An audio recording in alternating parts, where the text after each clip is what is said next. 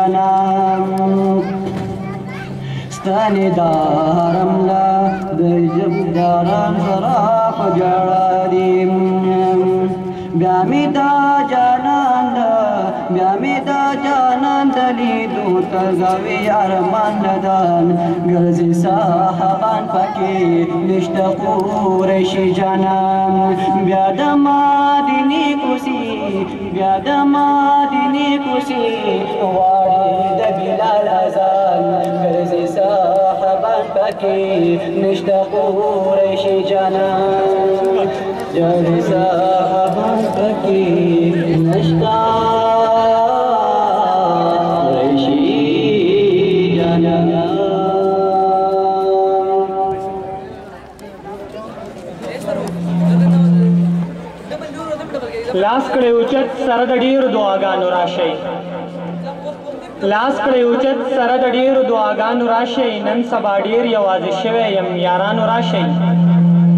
او زمونږ هر ساز هر نغمه به وي د امن په نوم زمونږ هر ساز هر نغمه به وي د امن په نوم په دغه سوچ زمونږ کلی ته سازیانو راشئ او بچیه ستا د خوب سکون او د آرام په خاطر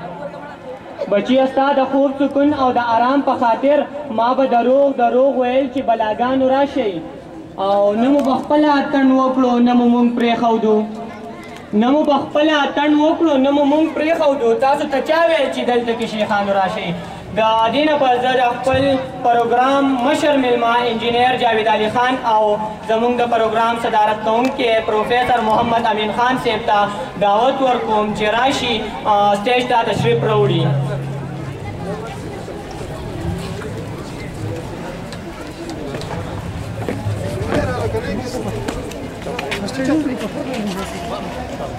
Daher gut!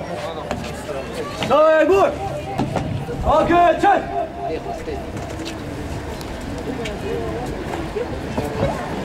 او په دې موقع موږ کومې ترانه لګو د هغې د ادب دپاره تاسو ټول تشریف چوت کړئ